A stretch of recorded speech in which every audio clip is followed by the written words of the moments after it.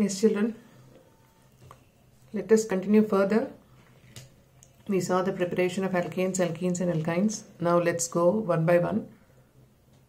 The physical and chemical properties of alkanes, alkenes, and alkynes. So let us first start with physical properties of alkanes, and then we'll slowly move on to chemical. Now, under physical properties of alkanes, you will find that the first four members are gases and then the fifth member to 17th member they are liquids. And then they are waxy solids. Higher members are waxy solids. Okay. Now the next property is boiling point. Boiling point increases with increase in molecular mass. Okay. As and when the molecular mass increases boiling point will also increase. Why? Because of the increase in van der Waals force of attraction between the molecules the force of attraction between the molecules will increase with increase in molecular mass. But now for isomeric alkanes, boiling point decreases with increase in branching. Now what happens with the branching? Now we take this example. This is pentane. This is isopentane. This is neopentane. Now you see this is, look at the size. It is like this now slowly branching की वजह से ये थोड़ा सा size कम हो गया। और ये देखो it is totally become spherical exactly now you know very well that between two spheres the area of contact is minimum right so what happens the intermolecular forces will be weak so boiling point will be less okay so boiling point increases sorry boiling point decreases with increase in branching. Why? Because surface area decreases so area of contact decreases so van der Waals force of interaction also becomes weak and hence the boiling point is also decreasing. So remember with increase in branching boiling point decreases. 309 301 282 it is decreasing now melting point, we'll see further. Melting point increases with increase in molecular mass. Now they have found that the variation is not regular. Like how you say for boiling point, it is not like this here. But then when you're talking about melting point, that means you are considering only solid alkanes, the alkanes which are in the form of solids. Only for solids melting point is a valid property. Now here what happens, alkanes with even number of carbon atoms have higher melting point than those with odd number of carbon atoms. Alkanes with even number of carbon atoms have higher melting point than those with odd number of carbon atoms.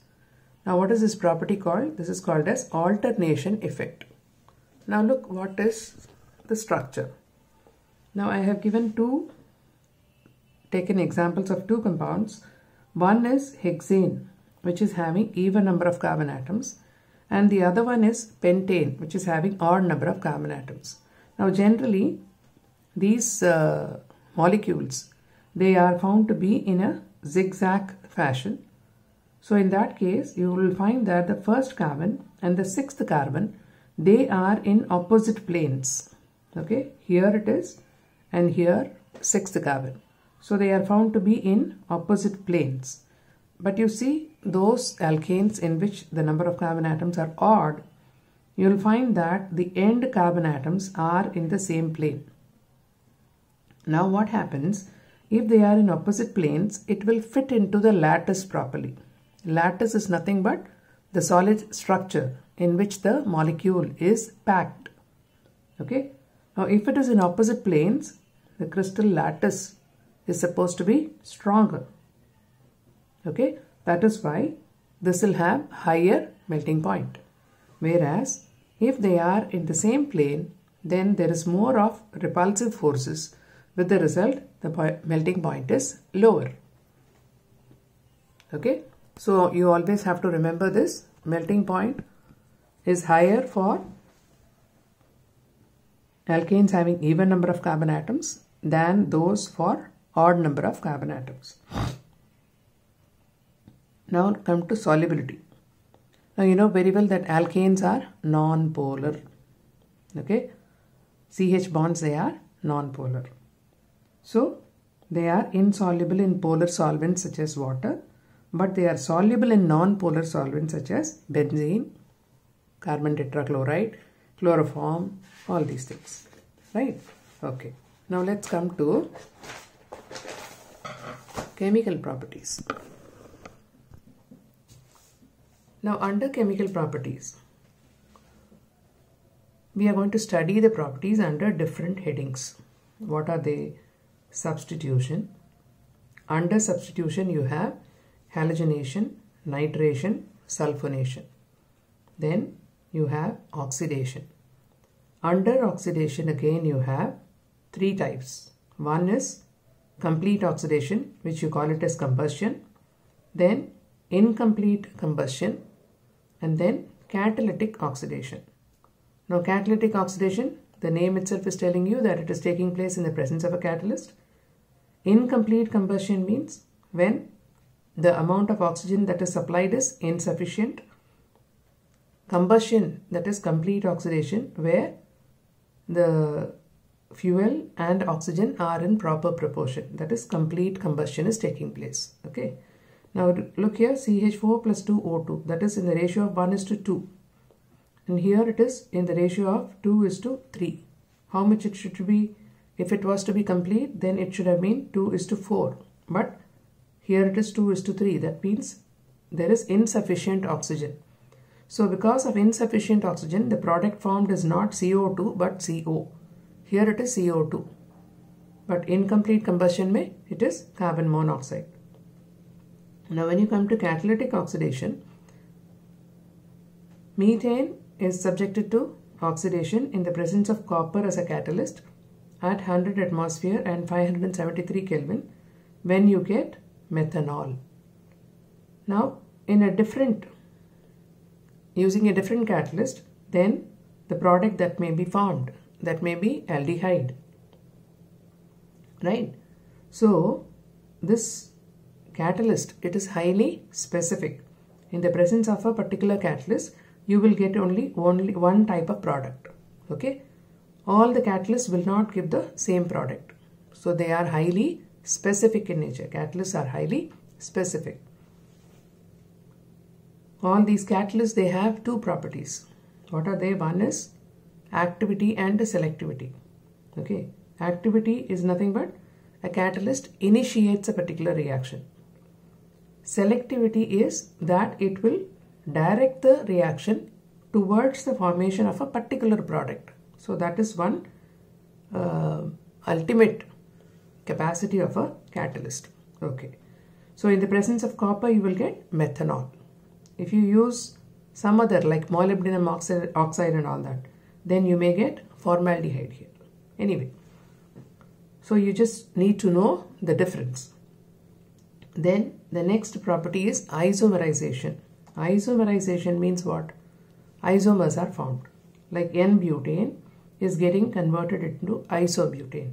Now this is taking place in the presence of AlCl3.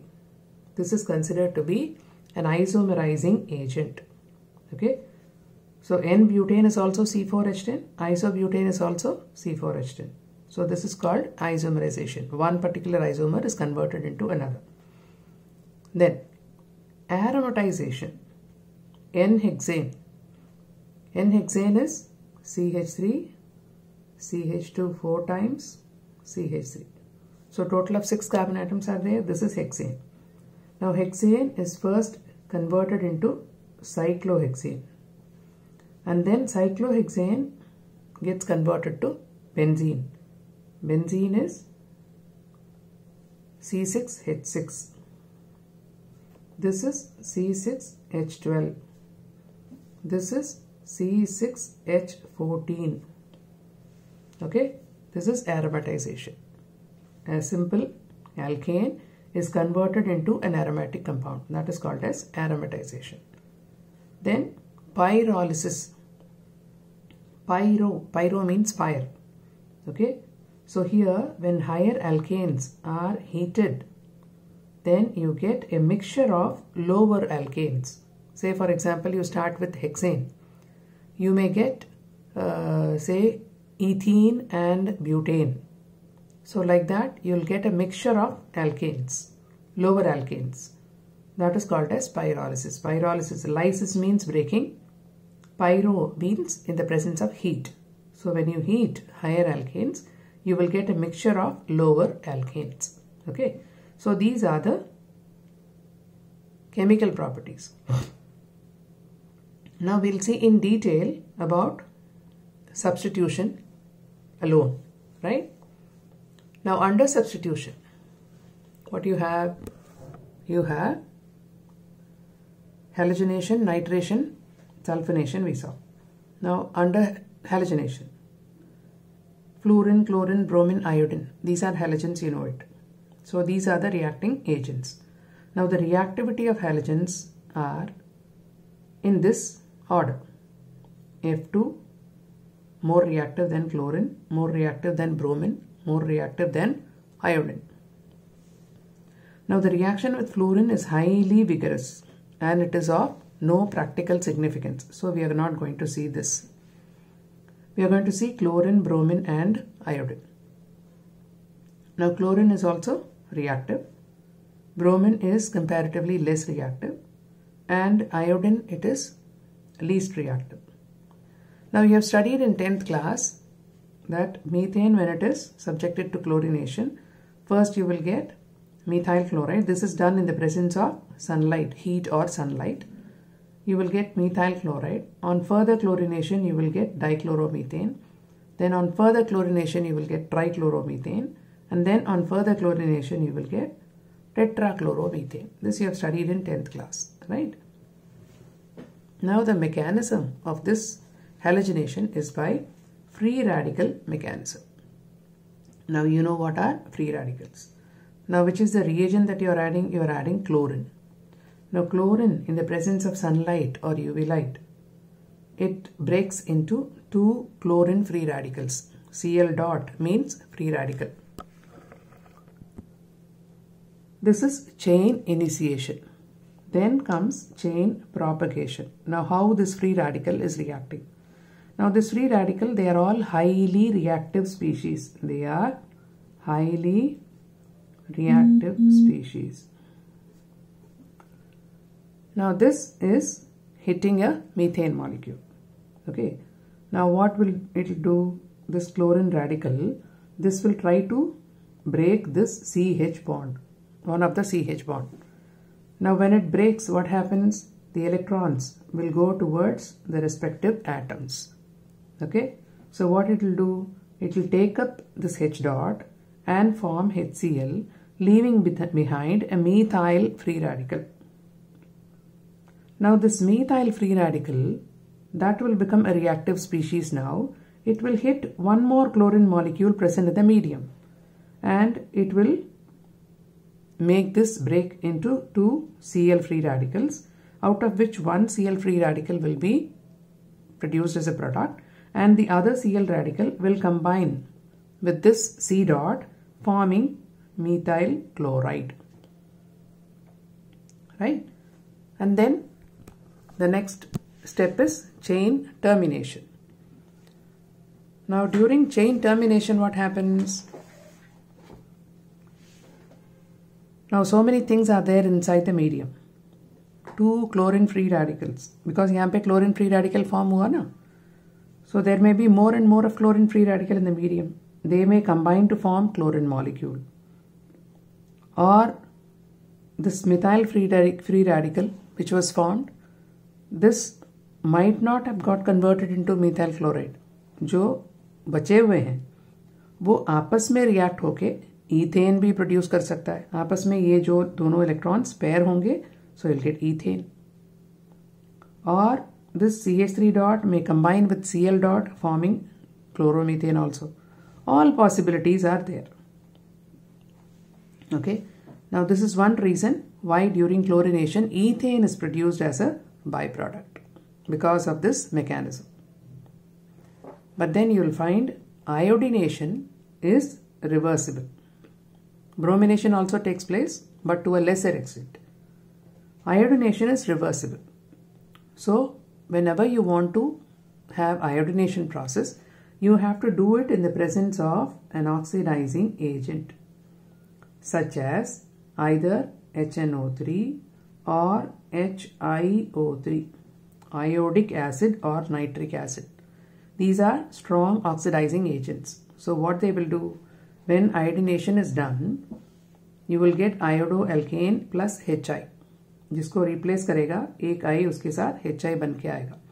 Now this H I is a reducing agent so if you leave it as it is what will happen it will reverse the reaction so you will get back alkane again so if you want to prevent the reverse reaction to take place what you have to do you have to do an oxidizing you have to add an oxidizing agent now supposing H I O three is add it will react with the by product H I and convert it into iodine So this iodine will further react with another molecule of alkane.